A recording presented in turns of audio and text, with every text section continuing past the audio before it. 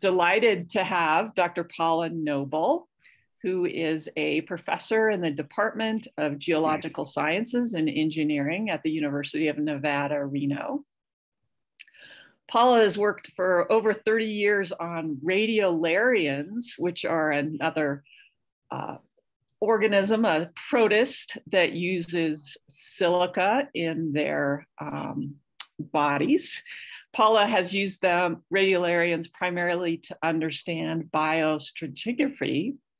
And I met Paula when she came to Iowa Lakeside Lab, and she said something like she'd worked on radiolarians forever and she wanted to learn something new.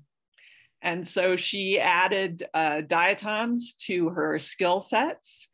And now she um, continues to work on large geologic timescales from millions of years to more recent environmental change in lakes using diatoms and the diatom record.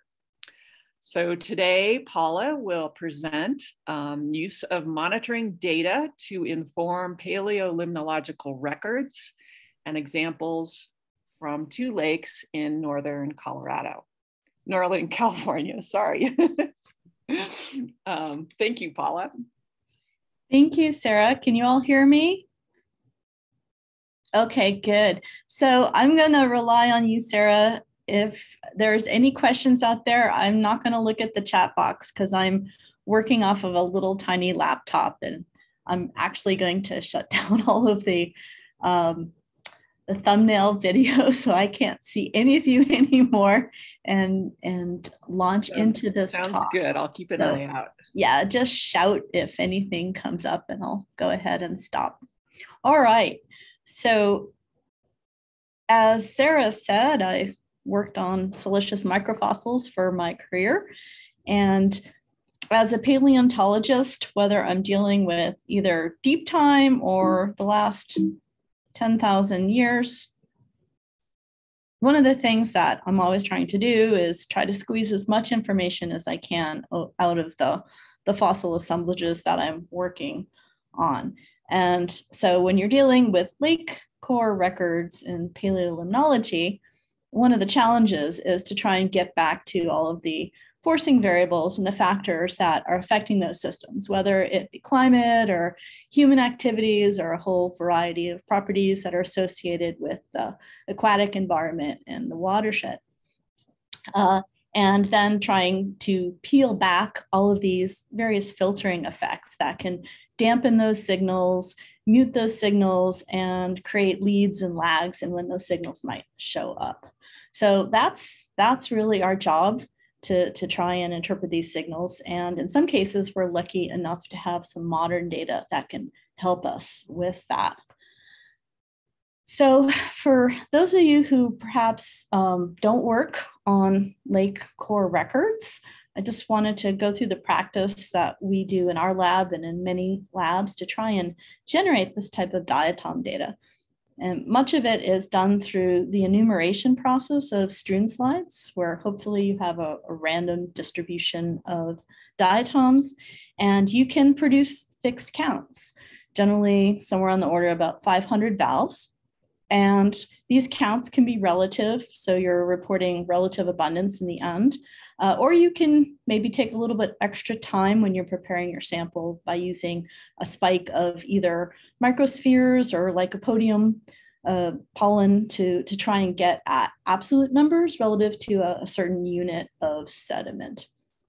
Uh, but rarely do you see stratified counts or counts towards completion to try and get at the true biodiversity of a sample because many times you're dealing with hundreds of species, many of which are rare in a sample. And when you're counting 500 units and you have 250 species per se, the chances of actually getting all of them in a, in a particular sample are are not great. So the, the counts that we produce, even though cumulatively by counting everything in the lake, we might hit the entire biodiversity, in, in a given sample, really what we're picking out are the big signals. And these are the, the most abundant species. Many times you see large changes in species dominant. You might get half a dozen species out of that 250 that uh, have enough valves uh, over 1% to actually show up. So that's an important thing to remember. Um, sometimes we can calibrate that, whether we're using modern training sets and inference models developed from that, whether we're using the published literature, or whether we're actually using data that was collected from the modern in that system. So I think the key question here, the thing that I'm always trying to, to wonder about when I do modern sampling is how much of that modern signal is lost in the paleolimnological record? And are there any small bits of signal that normally you would ignore just because it's it's very subtle uh, that might actually be very important and that you might be overlooking you know maybe one of those very low abundance taxa is very significant telling you some aspect of the forcing variables in that watershed and then finally if in fact you can start to pick out some of these small signals, what can we do in the future with our methods to perhaps tease them out a little bit better? So I'll begin by talking about Castle Lake. This is uh, a lake that we cored back in 2017. We took a gravity core, and it's not a, a terribly long record. It only goes back 450 years. But one of the cool things about Castle Lake is it has been a biological research station associated with UC Davis and the University of Nevada going back to 1959 when Charlie Goldman of Lake Tahoe fame began going up there and doing sampling, running experiments, and then taking all sorts of students up there for many, many years. So the data set is not completely continuous, but there have been observations, measurements that have been taken throughout this time. And in particular, in the 1960s, there's some very high quality data from the phytoplankton that I'll be referring to today. So Castle Lake is found in the northernmost part of California. It's in the Trinity Alps and it's close to Lake Shasta. So if you look at the picture in the lower left, we're looking down into the watershed and it's a small glacially derived cirque lake. And you can see Shasta in the background here to the north, about five miles away. So this little glacial lake, it has a deep spot on the southernmost end. And if you look at the bathymetry in the central picture, the deep area is, um, I don't know if you can see my cursor or not, but it's basically under the word Castle Lake. And uh, then there's a fairly large littoral area. The deep area is about 35 meters. And then a good deal of the lake is just on the scale of uh, six or seven meters depth. It's a, a fairly clear lake. It is sub-oligotrophic to mesotrophic, so Secchi depths on the, on the scale of you know 10, 12 meters. And so you actually get a, a lot of this lake that's in the photic zone.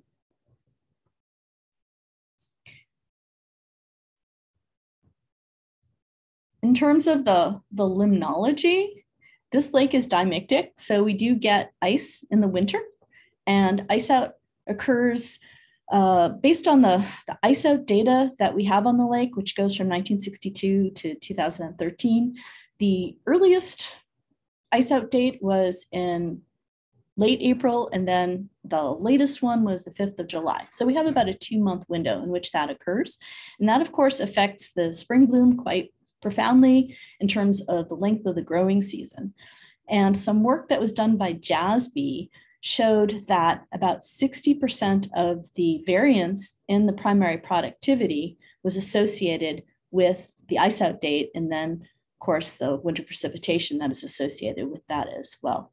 And just the figure on the right, this is from a 1998 Jassby paper, and it shows that there's a deep chlorophyll maximum, it's about 20 meters, and in the spring, we have the center of that with the high primary productivity. And then there's another spike that occurs uh, up in the epilimnion in the late summer.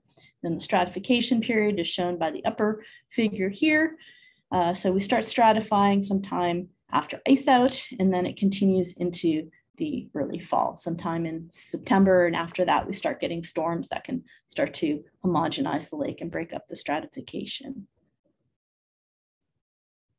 So here's the diatom record from that little gravity core that we have. And we have our, our relative counts plotted here out of 500 valves. And there's a cluster dendrogram on the far right showing that there were three stratigraphically significant clusters that we were able to break out. And the lowest one is what we're interpreting to represent the little ice age, which was useful because uh, there have been questions as to how extensive this manifests throughout Western North America. In the Sierra Nevada, we have a neoglacial advance with the Matthes glaciers in the alpine environment, uh, but it wasn't really clear if that extended uh, throughout the region. And here we see that we do have that influence and the, the timing is, is a little rough at the bottom of the core.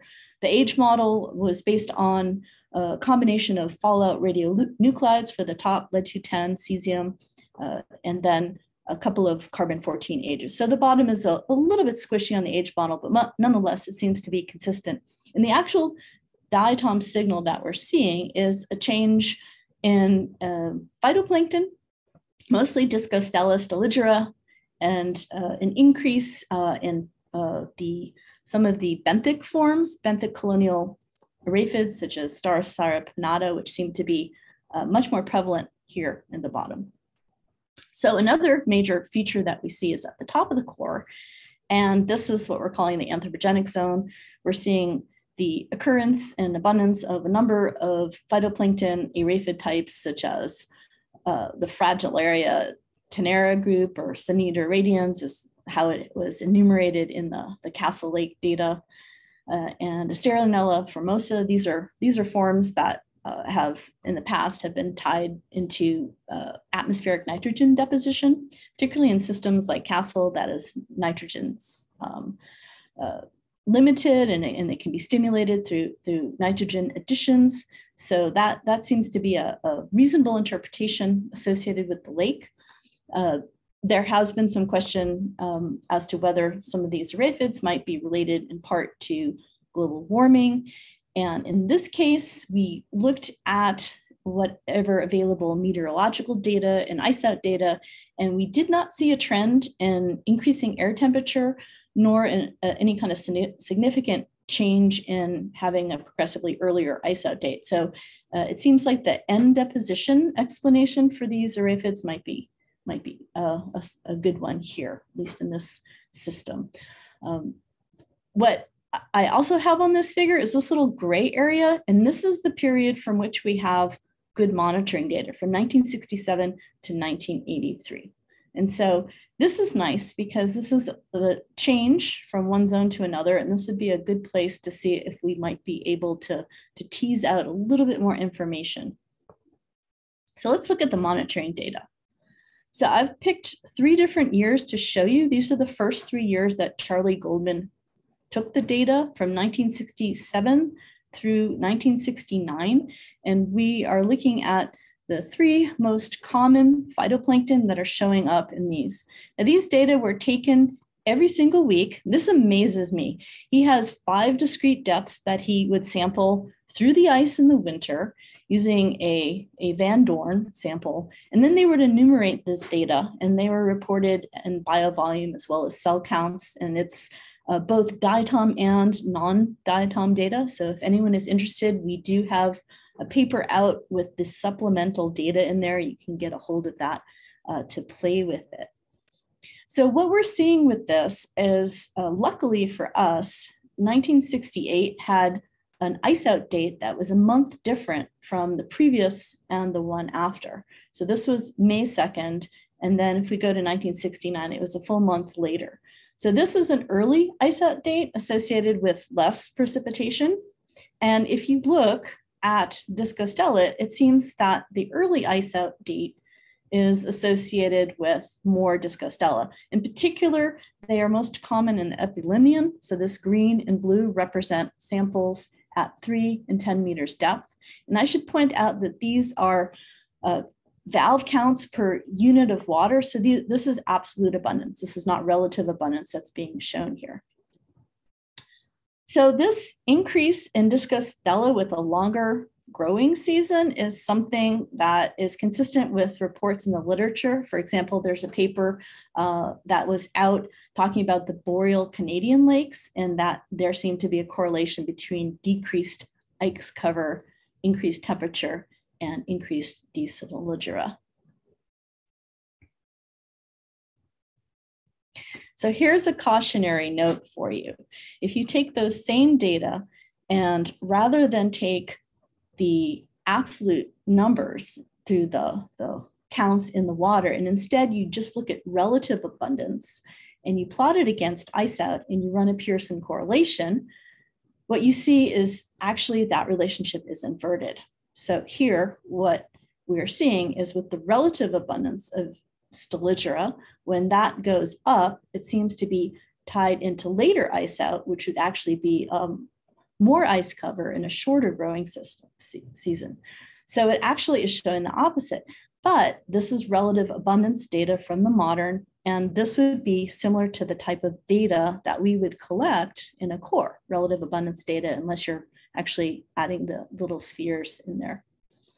And what we believe is going on here is that commensurate with these changes in Discostella, we also have some changes in these other common phytoplankton that seem to have a negative relationship, even though the correlation isn't significant uh, to ice out and Asteria from Asterionella formosa and Fragilaria tenera with ice out, still it seems to be doing the opposite thing as Discostella.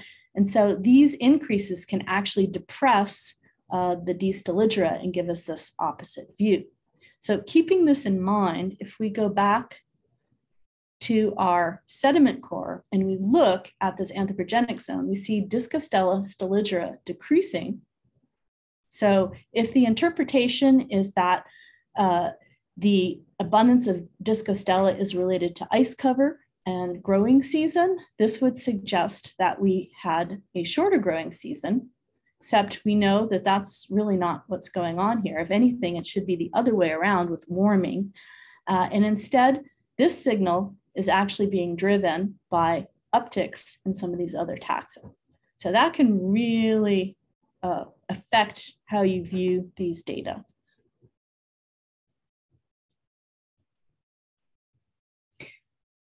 So there's one quirky thing I want to talk about Castle Lake before I move on and talk about the other lake. And that has to do with some of the license that these guys took in the good old days at these biological research, uh, research stations. Uh, we would never do these things today. It just um, just really blows my mind. They they performed this whole lake epilimnial experiment in this nitrogen limited system just to see what would happen. They went out two years in a row in 1980 and 1981 with a tanker truck full of fertilizer, ammonium nitrate, and they just sprayed it all over the lake. and then they ran a, a whole bunch of um, mesocosm experiments just to see what would happen. And over the course of the next month, they saw that this nitrogen indeed was taken up. Uh, there was a depletion of 35 micrograms of NO3 per liter, and where did it go? They had hypothesized that it would result in phytoplankton blooms and loss of water clarity, but in fact, the phytoplankton did not do as good a job in taking up the nitrogen as the, the what they're calling the periphyton, which most of us would, would call benthic algae, called the littoral species. And remember, there's a large littoral zone here, uh, fairly clear, and they found that a lot of this activity was by epipelic forms and some of the sediment. So this was interesting that you had this huge response. This actually informed a lot of the, the literature that followed up at Lake Tahoe. The same research group moved up into Tahoe proper to work and today, uh, concerns about water clarity in Tahoe and what's happening with eutrophication through storm runoff is associated with uptick in periphyton that is occurring around the lake. So this seemed to be a really bizarre thing to do. And we were hoping that we might be able to see this experiment run 40 odd years ago in the sediment core. Here's a sedimentary geochemistry we ran carbon and nitrogen isotopes, and with that, you get weight percent carbon and nitrogen. And on the left, if you just look at the nitrogen, this gray area here represents what, based on our lead 210 and cesium age model, this is what we interpret to be that experiment, where you actually get this little spike in the weight percent nitrogen, and also you see a change in the DEL N15, which might indicate a change in source between the typical source, the natural sources, and then this tanker truck full of fertilizer. So we do see a signal geochemically, but what about the diatoms? On the left are monitoring data, and these are uh, relative abundances, I believe, actually, um, which I guess we should look with caution, but these are, these are abundance counts from the monitoring data. And look at the upper two here, because these are associated with the experiment. Here's 1980, um, we have Staurosirella pinnata, and then 81, we have this spike in Tabellaria fenestrata. What's really interesting to me is these numbers are huge. We're looking, fenestrata is only 8%, but still the base level there, it was pretty much negligible in the counts until this experiment. And the same thing is true with pinnata, where it's negligible in the phytoplankton samples until this experiment.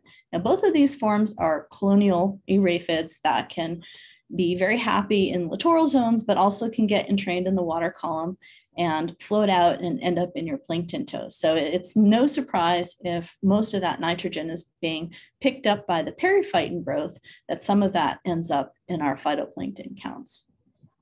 So do we see that in the core? If we go back to our, our image of our core, the answer is mm, not really. We're in this gray zone here, somewhere in the middle. And if anything, there's maybe a, a slight bump of maybe a percentage of Tabellaria fenestrata. Uh, we see some changes with Staurosirella, uh, pinnata over here, but these changes seem to start earlier. And so this is a signal, even though it was an enormous experiment, this is a signal that really is just not showing up, at least in terms of these relative abundance counts. There's one other thing that I wanted to pick out of the monitoring data before I move on and talk about uh, the other lake, fallen leaf lake, and that is this lower figure here. This is the counts from the monitoring data of Fragilaria tenera. And this interval that goes from 1967 to 1983 uh, represents two sections of core in our core, and it happens to coincide with this maximum bump in the same taxa that we're counting. So we're seeing it in the core and we're seeing it in the monitoring record. But what's interesting to me is that the shape of it is U-shaped in the monitoring, where we go from some very high numbers, really high, down to practically nothing. And the way that is smoothed out and averaged in the core in two samples just creates this hump and it makes it look like some kind of a gradual progression and maybe some kind of a tailing off and then something else taking over here, Asterionella formosa. When in actuality, it looks like this increase in Tenera over time happened in spurts and fits as it kind of puttered along and kicked in with a lot of interannual va- uh, variation that we're just not picking up. Now, maybe we're never going to capture this in the core, but at least from a process standpoint, which is good for my brain, it helps us really understand how these systems kind of transfer from one, um, one state to another. Okay, just gonna check the time here. Okay, great. So now I want to move down into the Sierra Nevada to the Lake Tahoe Basin and talk about some data that comes from Fallen Leaf Lake, which is actually my first Holocene paleolimnology project that I started. And I went out in 2009 and I began collecting limnological data and then in 2010, we got a whole suite of lake cores for the Holocene, had a couple of students, and we worked on those and uh, have a, a, whole array of papers that come out of there. But I want to take you back to some of that early data that I collected from the limnology and then try and tie it into some of the signals that we saw later. So Fallen Leaf Lake uh, is actually, sorry, the arrows are moved a little bit, but it's this lake right here under the black arrow It's in the southern end of the Lake Tahoe watershed. And this lake is a couple kilometers long, kilometer wide. It's formed in a glacial valley. So if you look at this swath bathymetry over here, this um, kind of oblique view, it's the direction of this orange arrow. You can see fallen leaf lake sitting up here. And it is dammed on the northern end by a series of terminal moraines as the glaciers receded. And it was formed during the late Tioga retreat, so 15 or 16,000 years ago, as a really great Holocene record that is just full of diatoms. The lake itself is fairly deep. It has a, a, sufficient thermal mass so that it doesn't ice over in the winter and it's monomictic. And it doesn't have a huge shallow littoral zone like Castle Lake just because of its depth. Uh, the mean depth is about 70 meters, but this the uh, northern end is in fact shallower. Something interesting about this is that the base level of Fallen Leaf Lake is 15 meters above the base level of Lake Tahoe. And so this indicates a potential climate sensitivity so that if you have hydrologic deficits over the span of multiple years, you can effectively lower the lake level by reducing the inflows because most of the inflows, about 80% of the water entering the system is through snowpack and runoff from the melt of that snow.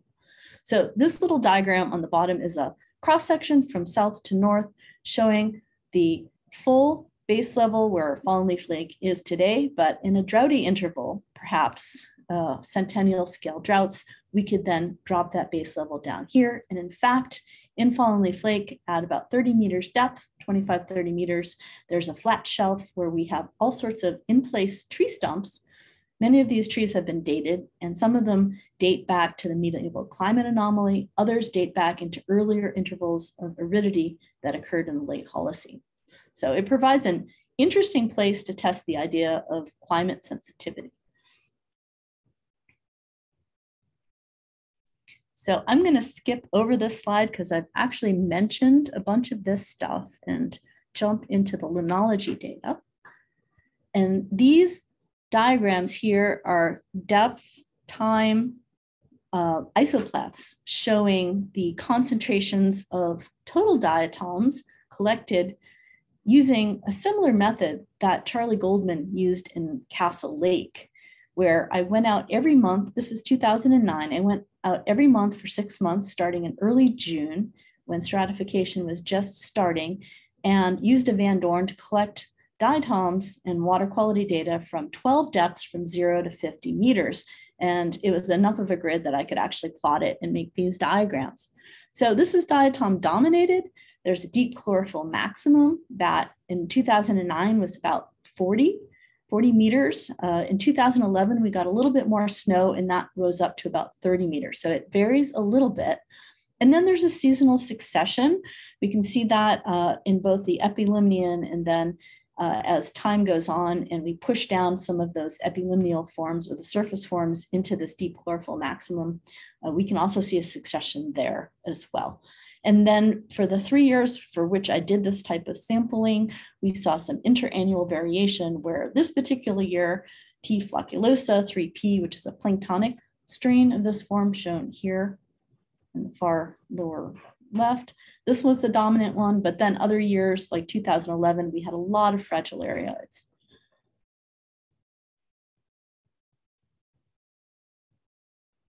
One thing that was interesting to me that I thought might be able to be taken back into the cores was looking at two different species of Lindavia. Uh, Lindavia rossii, which is kind of a messy species complex. It includes uh, tripartite forms, ocellate forms, a variety of sizes. It could be multiple things, but this guy is living in the lake. Through our sampling uh, in the Van Dorns, we were capturing material and we could tell what was live and what was dead.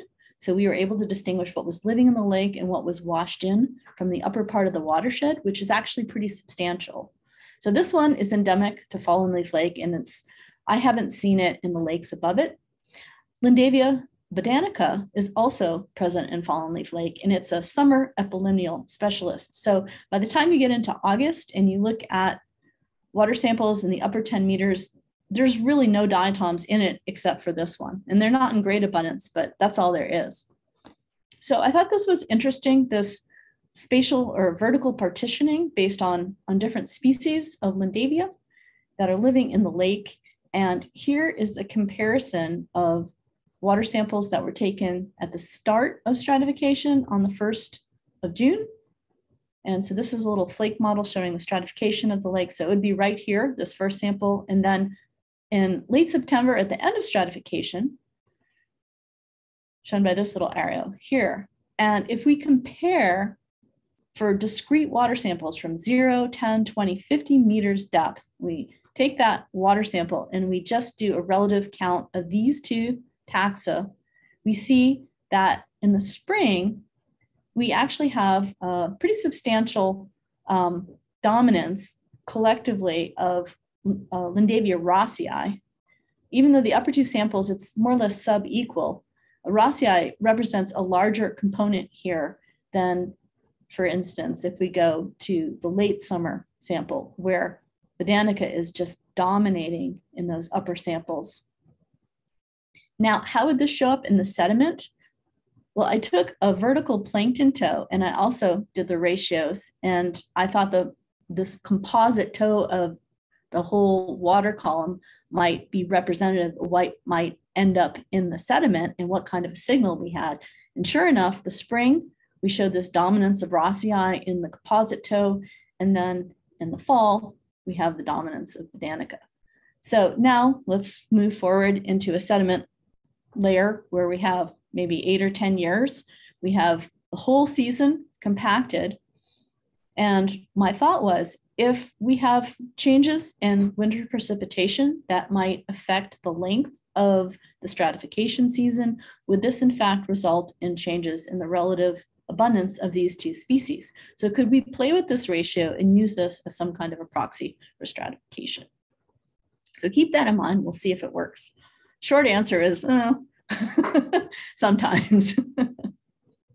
Another thing that I did, in addition to that monitoring, is I went up and sampled the watershed to see who is living where. And this was helpful because these are the centric taxa, just using the, the centric phytoplankton as an example. These are the ones that are endemic to fallen leaf lake and they're not found in the upper watershed in these smaller, shallower water bodies. But there are other lakes such as Gilmore and Susie Lake where these things are dominated by short-mantled Aulacoseira, such as Aulacoseira pusilla and Discostella stelligera. And in fact, these two are entering into Fallen Lake, and they are a large part of the sediment core, but they are washed in species, or at least in the present day, they're not living there. Maybe in the past, uh, having high numbers of these guys in the core might suggest that conditions that favor them in the upper watershed were actually present in Fallen Leaf Lake.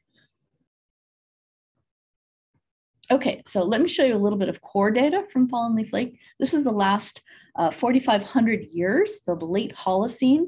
These are diatom counts. Some of them were done by a former student, Laurel Stratton. And uh, I filled in some of her data, and she initially did 200 counts. I took them up to 500. So we have some big signals here.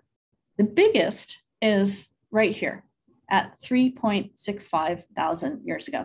In fact, this is the biggest signal in the entire Holocene. The next biggest signal in these cores is the Holocene Pleistocene transition. And then the third biggest signal is actually that anthropogenic zone, which is not shown in this diagram. It's uh, in the gravity core that is a companion to this one.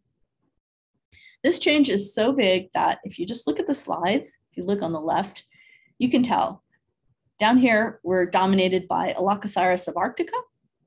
And we can actually see this in the proxy record for opal silica. So on the far right, this is scanning XRF data showing a ratio of silica normalized to titanium. And you can see this big blip in this blue area represents this lower zone here. So we're seeing it in the sedimentary geochemistry. Uh, there's changes in the uh, del C13, uh, about a two per mil change so there's definitely some, some things going on in this lake. So what could that mean? Uh, we have some good information on Aulacoseira subarctica. We know that it's a fairly heavy, well silicified species. It requires turbulence. Uh, there have been some, some publications that suggest with extended ice cover, we might actually suppress this because we don't have the ability to keep it suspended. Uh, so it seems to be something um, that would be very happy in a more mesotrophic system where we have a constant, constant wind and constant um, breakdown of stratification to keep that in there in, in, the, um, in the water column.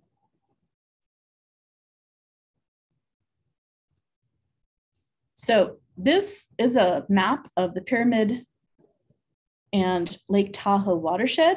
Fallen Leaf Lake is up here in the alpine environment, but this is all connected. So Lake Tahoe spills into the Truckee River. There's a five meter sill, and as long as Lake Tahoe doesn't evaporate below that, we continue to provide water into this terminal basin, Pyramid Lake. And then this is actually a double lake basin. Over here is Winnemucca Dry Lake, which in, until um, 100 years ago um, and some damming, there was actually water in here. And these lake systems are sensitive to lake level changes and work by my colleague Ken Adams at DRI and some of his, his co-authors using lake shore lines um, have, have been very useful in showing lake level change throughout the late Pleistocene and Holocene. And on the right is a aerial photo of this northern area of Winnemucca Dry Lake from his 2008 paper, I think it is. And he has carbon 14 dates.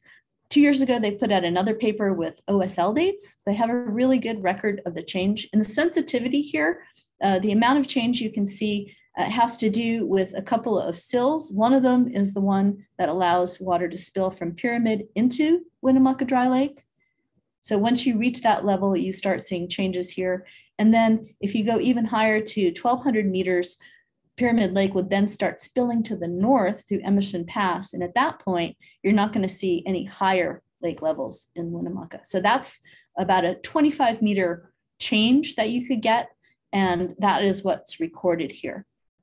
And from these data, and also from archaeological sites around Pyramid Lake, Ken Adams was able to reconstruct a lake level curve, which is extremely useful because since this is the same system as Fallen Leaf Lake, there's really just one solution to changes in lake level rises and falls. If we see a change here, then we should expect some kind of change to manifest in the alpine end of the system. So here is Ken Adams lake level curve.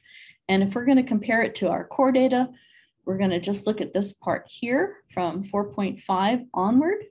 And this humpy area here is the neopluvial, so this is a, a period, uh, there's, there's not glacial advancement, but the Great Basin was wetter. So it wasn't necessarily colder and wetter, but there was more precipitation.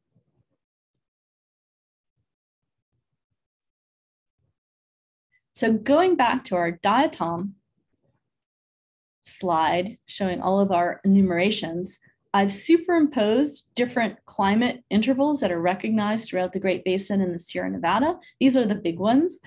Here's the neopluvial, which corresponds very nicely with our big change in Aulacoseira. The late Holocene dry period, which has been recognized in many pollen records, would go in here if we were to see it in the core, and I say if. Medieval climate anomaly, which my former student Laurel Stratton tried very hard to see in Fallen Leaf Lake, and then the little ice age up here. So what signals do we actually see in the core uh, in terms of the, the wetter ones versus the drier ones, the subalpine environment is much more sensitive to the wetter ones. And that makes sense because what influences this area largely is associated with snowpack and winter precipitation. And if you want to add in ice cover, perhaps in the past when Fallen Leaf Lake might have iced over, uh, then you can potentially affect things such as uh, Aulacoseira and uh, creating other um, factors such as growing season uh, that you would get with this, this winter ice cover.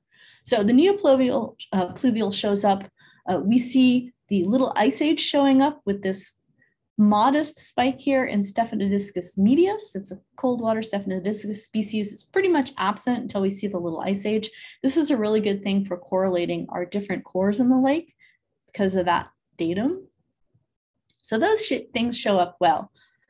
What's also plotted on here, besides some of the, the most abundant species, are the ratios that I noticed in the monitoring data. So here's the ratio of Lindavia bodanica to rossii, and then Aulacoseira high mantle to low mantle. Now keep in mind, this is relative abundance data, and we've already discussed how you can really change the direction of that signal uh, by not using absolute counts, but nonetheless, I, I, had to do it.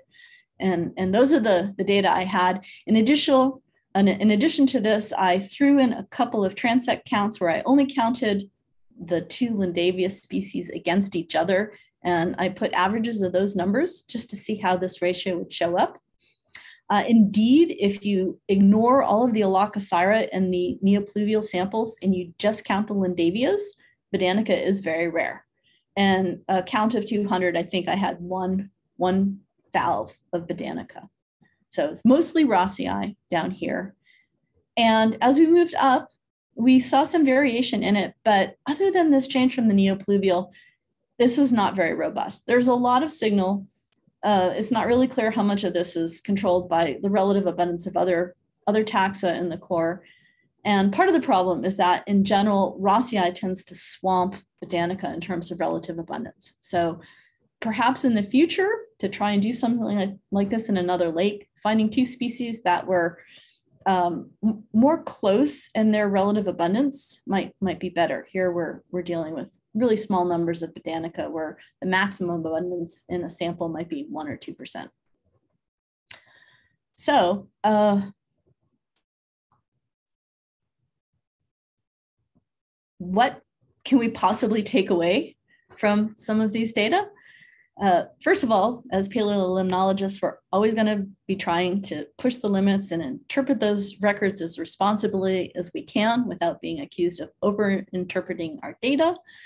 Uh, but we also have to realize that a lot of this interannual variability, such as what we saw with the Castle Lake system, is just not going to show up, or it's just going to be highly smooth. I think just having that general awareness may be helpful in going forward, forward and informing us on what processes are affecting these systems. Um, this one was an eye opener for me because I admitted all of my samples that I run, I do not spike, I use relative abundance counts. Uh, but however, in the future, one of the things that I think I would like to start doing, this is something I did with my radiolarian work with my recent PhD student, Sarah Trubovitz, is instead of just doing fixed counts, doing something uh, where we can perhaps try and capture the species richness and the dominance through getting the uh, biodiversity in a sample. And this can be done either through stratified counts, which have been described in the literature, in the diatom literature, or in the case of what Sarah did with the radiolarians, which are also very speciose. She had about 300 or 400 species in a given sample from the Eastern Equatorial Pacific. Uh, she used a completion curve so this would actually use some, some quantitative methods to determine at what point in time you're likely to get a new species added based on uh, your, your counting sequence. And when this curve started to flatten and it looked like the chance of doing another 100 counts is not going to give you any more taxa, then she would stop. She would usually shoot for about 90% completion. And in her case, she was counting upwards of 4,000 valves, which is a scary thought when you consider the time involved in that. So there's some ways to, to um, avoid having to count every valve by uh, skipping over some of the, the more abundant ones. There's software out there, such as a program called Raritas, developed by a colleague, a radiolarian colleague, David Lazarus in Berlin. And I would be very curious to use that to see if we can start getting some of this community structure data as just another metric that we can use in the paleolimnology uh, records to try and tease out some of these really subtle signals. So I'm going to stop sharing. Uh, that's all I got. And I really thank you for asking me to come here and talk to you today. Thank you so much, Paula. Um, really a fantastic record in both of these lakes. And um, really intriguing. Um, really enjoyed your talk. In fact, I feel like I want to hog all the questions, but I, I don't have any of the answers. I'll just set a time to talk to you because I've been taking notes the whole time. Um, yeah, this. I mean, if people want to start put, um, raising their hand, or um, here we go, put questions in the chat. Um, let's see, Mark says, I wish I was a geologist question.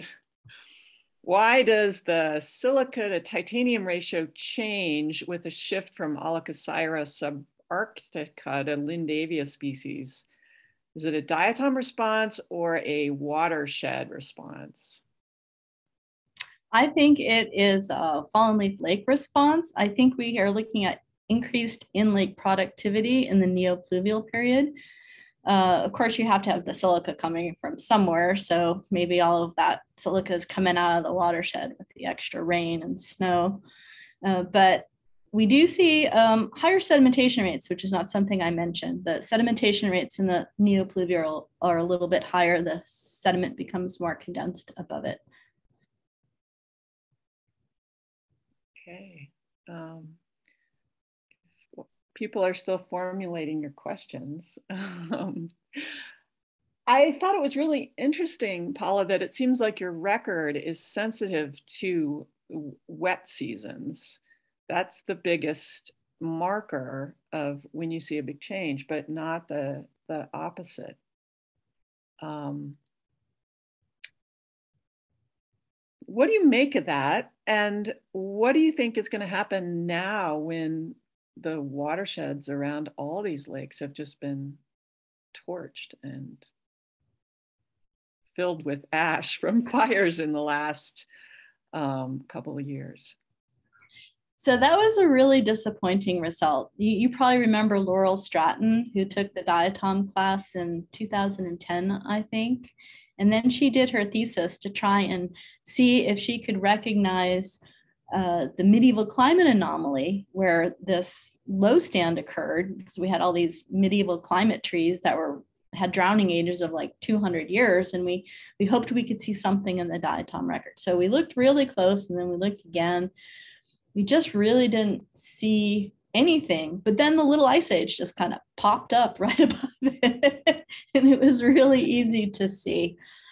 And so I think it really comes down to the sensitivity of the system. It might be subalpine systems overall, but it, it might just be fallen leaf lake because if you look at what a 30 meter drop will do, it's really not going to change um, the littoral zone depth or, or, the shallower depth enough to create a robust littoral zone. And it was sufficiently oligotrophic at that point so that um, you're not going to get a lot of periphyton anyways growing around the edge of the lake. So uh, you had these steep-sided glacial valleys and the lake size didn't really change by the drop. So one might say maybe it's the geometry of the lake, uh, maybe it's the flow through. Uh, it's not really going to change. Uh, it's, it's a very low specific conductance. It's like 20 micrograms. It's really dilute. So you're not going to really change things like salinity or, or some of the, the normal features when, when you have precipitation deficit. So it just might be that this particular system was just unfortunately not very sensitive to drought and other systems might do better. Mm-hmm. Yeah, I think, you know, this is just a wonderful record um, having, you know, integrating, um, you know, in the, in the other lake, the Goldman data and then your own um, modern collections to be able to understand what's going on in a lake on a seasonal basis and then relate it to the sediment record. I just think this is just beautiful work. And it reminds me too of, um, of Platt Bradbury um, and his work on Elk Lake, um, being able to really understand the ecology and what it looks like in the sediments. Um, Tom has a question about do the diatoms you counted preserve equally well? Um, are there species pres present in the modern assemblages that are not preserved in your sediment cores? Uh, Urosolenia eriensis, um, of course, was uh, really important in the spring. And then I have never seen one in the sediment. So yeah, there's definitely some weakly silicified.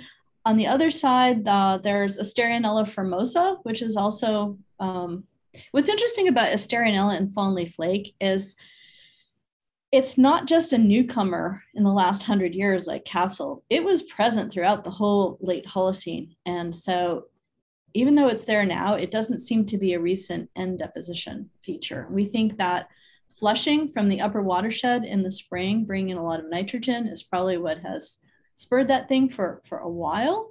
But it's weakly silicified, and we always worried about the counting. So we had to actually develop different counting methods for it, where we would count the tips and then divide by two just to make sure that we weren't missing that. That was a real pain to worry about those things. Of course, you worry about all these things when you're counting, wondering how biased your samples really are.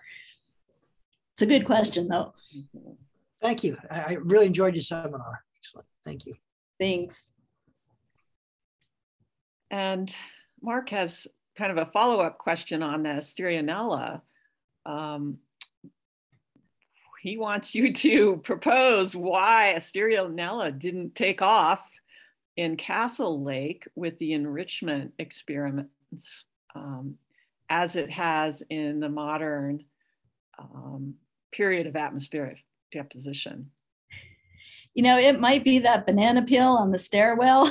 Just you trip over it and you, you head right down the stairs.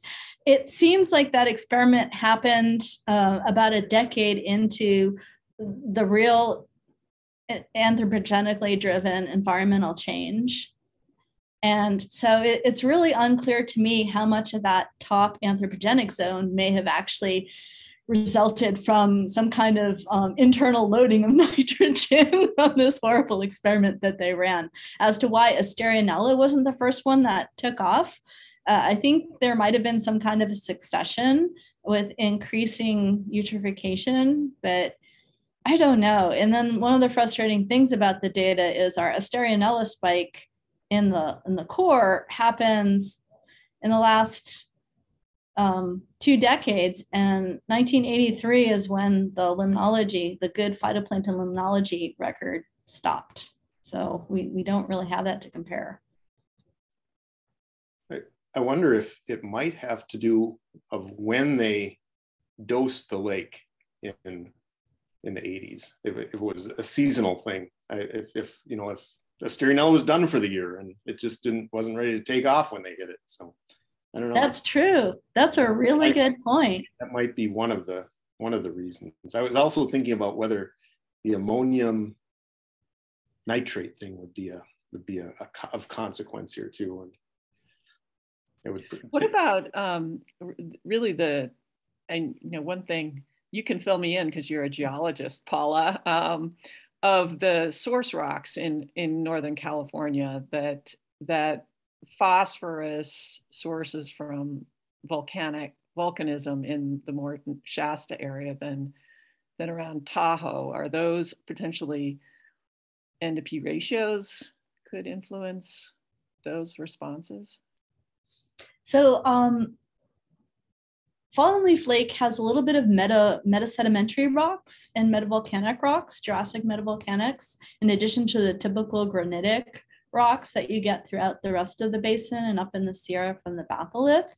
Um, I think some of the calcium that we saw in some of the detrital fractions in the XRF might have been related to the, to the bedrock geology. But in terms of phosphorus, I guess there are some some metavolcanics that could have done that. We certainly see that in Lassen Volcanic Park, the work that Carrie Howard did. I think there's a lot of phosphorus coming out of those those basalts, and that could definitely play into it. So the watershed geology could be a could be a big factor too. Um, Laura has a question. Um, how could ratios between species um, give us clues about seasonality, knowing this constraints of relative abundant counts. I'm not sure I understand that one, but I think I I think I do. And now maybe I mathed this wrong and I just got it wrong, and someone who has a mathier brain could do it better. But after I completed my 500 fixed counts, I went back and I just counted the two species of interest relative to each other thinking that way I could eliminate, you know, the Aulacoseira effect. Uh, and I was actually disappointed because I was expecting this this you know drought signal to pop out, and it and it just really didn't happen. So I don't know if it's just fallen leaf lake was not sensitive to it, but that was my workaround to avoid this problem of relative abundance. The other thing is to then triple the amount of processing time and, and get into the, the business of spiking your samples with, with um, those little microspheres. Does anyone do that here? The microsphere work? somebody jump in. I can say I I gave it a valiant try, um, and I was not really successful at getting the kind of um, sensitivity and repeatability that that I thought it deserved. Um, but I'm gonna I'm gonna call you up, Paula, so we can chat for a while. Okay. Um, we're coming up on the top of the hour. Does anyone have any more questions uh, for Paula? Um, and either way, I'd like to have, we got a few suggestions for um, topics for the next, uh, the 2022 uh, Diatom Academy. Um, if you haven't put in some thoughts, please um, put in some uh, voices for topics, even if you want to second someone else or, or add something new. Um, okay, Paul, um, Sylvia asks, given the long-term scale of lake histories uh, that we can infer from sediment cores, how would you approach informing lake management about reference conditions in lakes?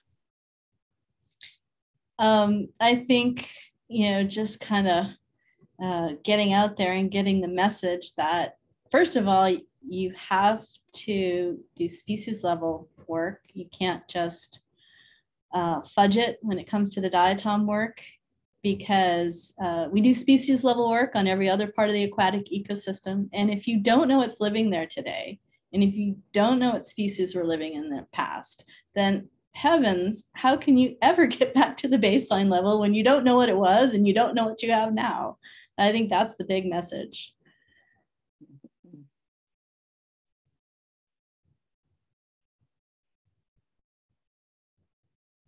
Anybody else?